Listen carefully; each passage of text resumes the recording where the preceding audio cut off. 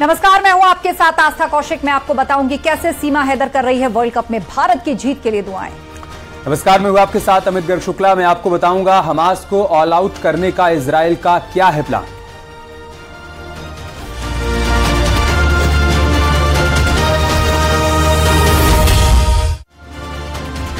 World cup में पाकिस्तान की हार के बाद सीमा हैदर की खुशी का ठिकाना नहीं है। सीमा का कहना है अब भारत को वर्ल्ड कप जीतने से कोई नहीं रोक सकता।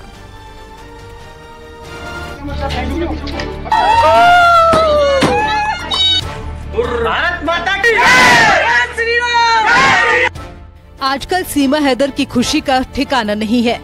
इधर टीम इंडिया एक के बाद एक मैच जीत रही है और दूसरी तरफ़ सीमा हैदर जश्न पर जश्न मना रही है। कोहली के हर चौके पर सीमा झूम उठती है।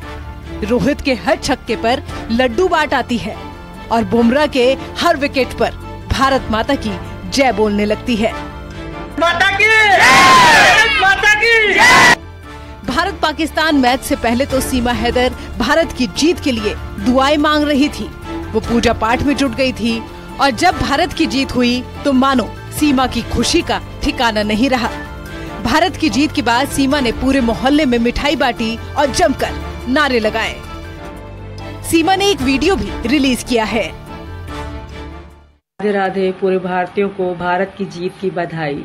भारत के, गुजरात के, अहमदाबाद के ऐतिहासिक स्टेडियम, मोदी जी के स्टेडियम में लगातार अपनी क्रिकेट में अपनी जीत को बना के रखा है और खेल भावनाओं से जीता है और मोदी जी के शासन काल में खेलो इंडिया, जीतो इंडिया। और हमने अपनी खुशी, अपने भाई डॉक्टर ए पी सिंह, अपने परिवार, अपने मोहल्ले वालों के साथ मनाई, मिठाई बांट के मनाई।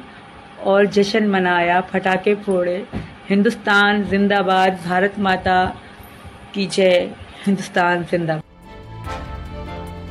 सीमा का कहना है कि टीम इंडिया ही वर्ल्ड कप जीतेगी और इसकी सबसे बड़ी वजह है भारत सरकार।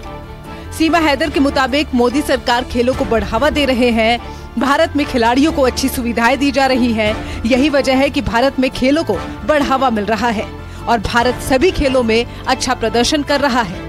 बात एशिया कप की हो या फिर क्रिकेट वर्ल्ड कप की। भारत माता की। भारत माता की। भारत माता की।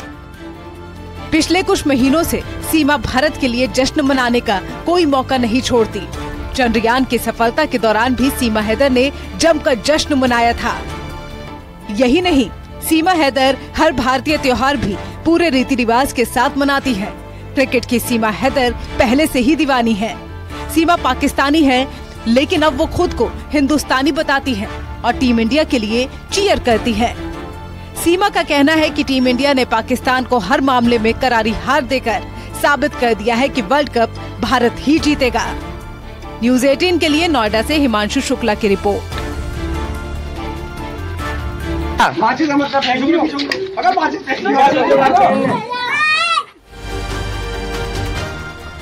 इसराइल को